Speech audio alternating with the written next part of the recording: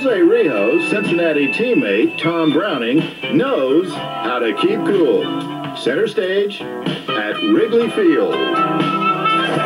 His teammates are waving to Tom Browning. I guess those fans out on the rooftop are really having fun.